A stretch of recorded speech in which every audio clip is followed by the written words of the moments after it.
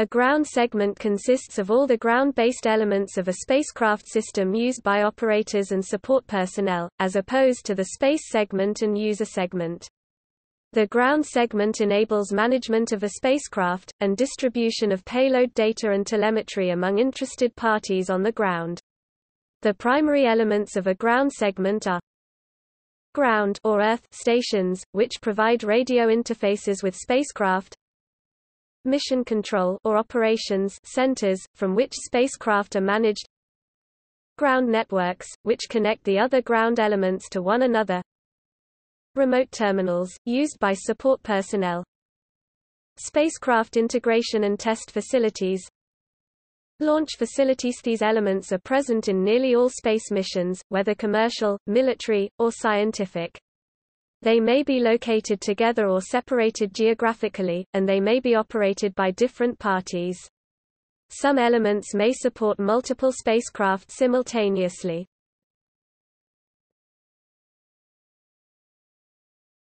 Topic: Elements Topic ground stations Ground stations provide radio interfaces between the space and ground segments for telemetry, tracking, and command TT&C, as well as payload data transmission and reception. Tracking networks, such as NASA's Near-Earth Network and Space Network, handle communications with multiple spacecraft through time sharing. Ground station equipment may be monitored and controlled remotely, often via serial and or IP interfaces.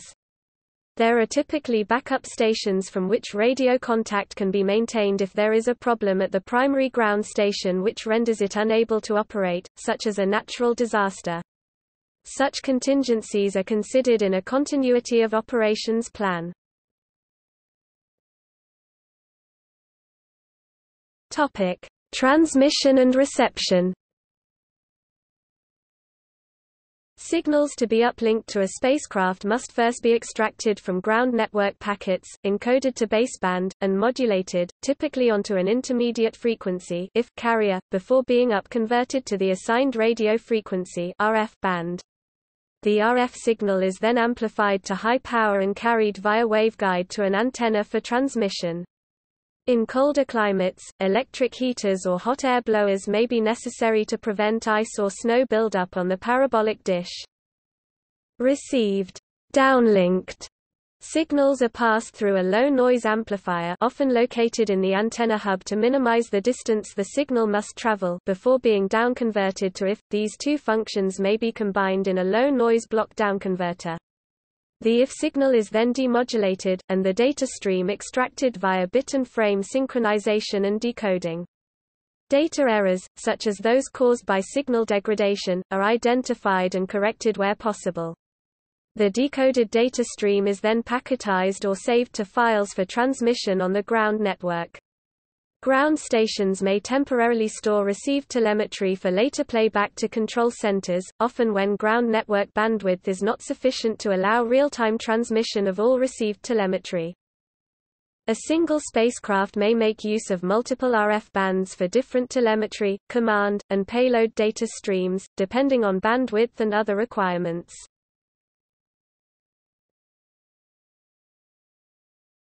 Topic: Passes The timing of passes, when a line of sight exists to the spacecraft, is determined by the location of ground stations, and by the characteristics of the spacecraft orbit or trajectory.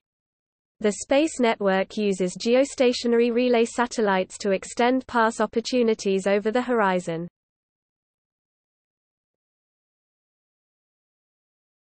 Topic: Tracking and ranging. Ground stations must track spacecraft in order to point their antennas properly, and must account for Doppler shifting of RF frequencies due to the motion of the spacecraft.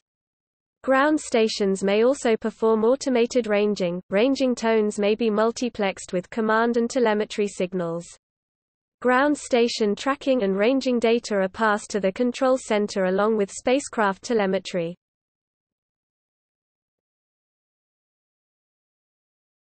Topic: Mission Control Centers.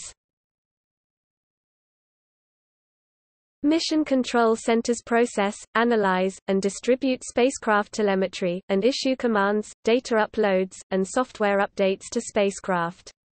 For manned spacecraft, Mission Control manages voice and video communications with the crew. Control centers may also be responsible for configuration management and data archival. As with ground stations, there are typically backup control facilities available to support continuity of operations.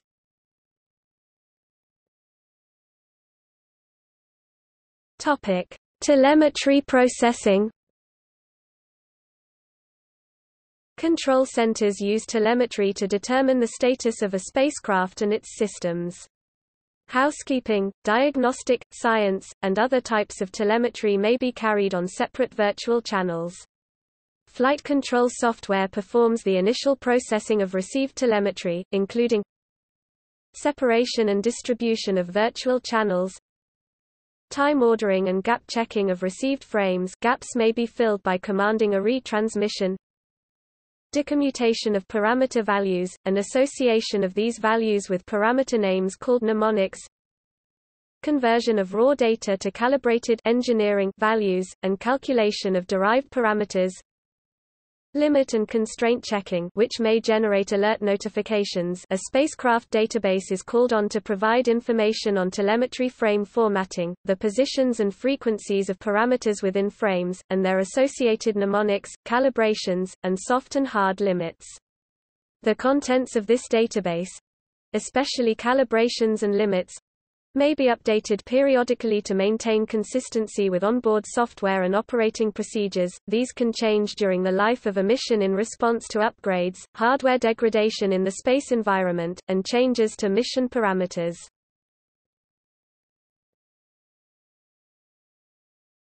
Topic: Commanding Commands sent to spacecraft are formatted according to the spacecraft database, and are validated against the database before being transmitted via a ground station. Commands may be issued manually in real time, or they may be part of automated or semi-automated procedures. Typically, commands successfully received by the spacecraft are acknowledged in telemetry, and a command counter is maintained on the spacecraft and at the ground to ensure synchronization. In certain cases, closed-loop control may be performed. Commanded activities may pertain directly to mission objectives, or they may be part of housekeeping. Commands and telemetry may be encrypted to prevent unauthorized access to the spacecraft or its data. Spacecraft procedures are often developed and tested against a spacecraft simulator prior to use with the actual spacecraft.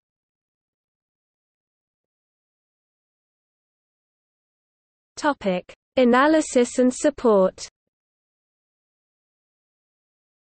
Mission control centers may rely on offline i.e., non-real-time data processing subsystems to handle analytical tasks such as short and long-term trend analysis orbit determination and maneuver planning conjunction assessment and collision avoidance planning mission planning and scheduling Onboard memory management Path planning – In the case of planetary rovers dedicated physical spaces may be provided in the control center for certain mission support roles, such as flight dynamics and network control, or these roles may be handled via remote terminals outside the control center.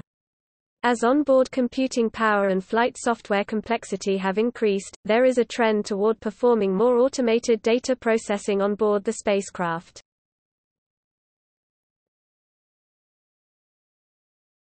Topic: Staffing. Control centers may be continuously or regularly staffed by flight controllers. Staffing is typically greatest during the early phases of a mission, and during critical procedures and periods. Increasingly commonly, control centers for unmanned spacecraft may be set up for lights out or automated operation, as a means of controlling costs. Flight control software will typically generate notifications of significant events, both planned and unplanned, in the ground or space segment that may require operator intervention.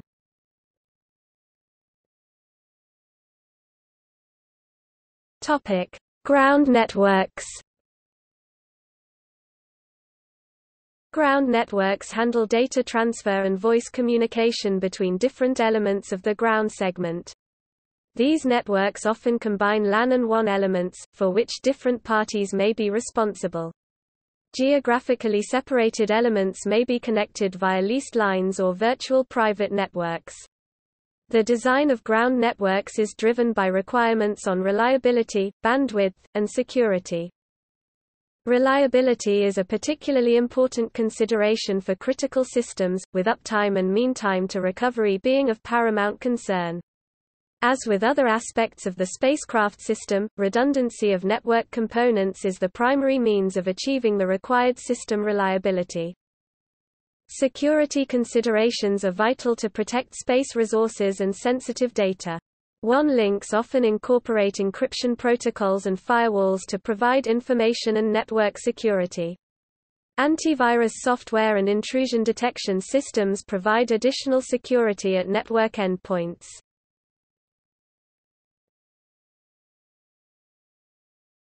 Topic: Remote terminals. Remote terminals are interfaces on ground networks, separate from the Mission Control Center, which may be accessed by payload controllers, telemetry analysts, instrument and science teams, and support personnel, such as system administrators and software development teams. They may be receive-only, or they may transmit data to the ground network. Terminals used by service customers, including ISPs and end users, are collectively called the user segment and are typically distinguished from the ground segment. User terminals including satellite television systems and satellite phones communicate directly with spacecraft, while other types of user terminals rely on the ground segment for data receipt, transmission, and processing. Topic integration and test facilities Space vehicles and their interfaces are assembled and tested at Integration and Test facilities. I&T provides an opportunity to fully test communications with, and behavior of, the spacecraft prior to launch.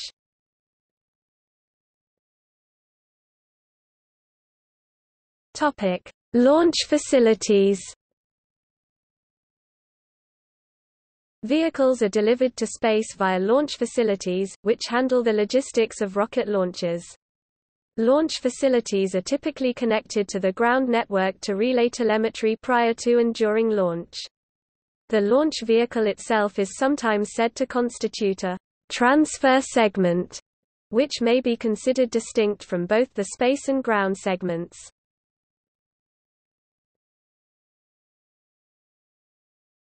Topic: Costs Costs associated with the establishment and operation of a ground segment are highly variable, and depend on accounting methods. According to a study by Delft University of Technology, the ground segment contributes approximately 5% to the total cost of a space system. According to a report by the RAND Corporation on NASA small spacecraft missions, operation costs alone contribute 8% to the lifetime cost of a typical mission, with integration and testing making up a further 3.2%, ground facilities 2.6%, and ground systems engineering 1.1%. Ground segment cost drivers include requirements placed on facilities, hardware, software, network connectivity, security, and staffing.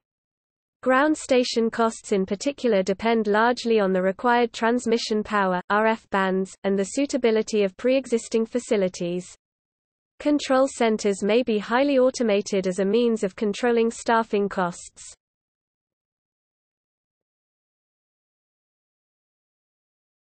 Topic: Images.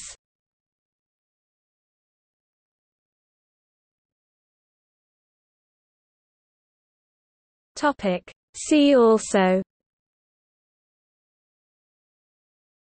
Consultative Committee for Space Data Systems CCSDS, which maintains standards for telemetry and command formatting. Radio Communication Service, as defined by ITU radio regulations. Onboard Data Handling Subsystem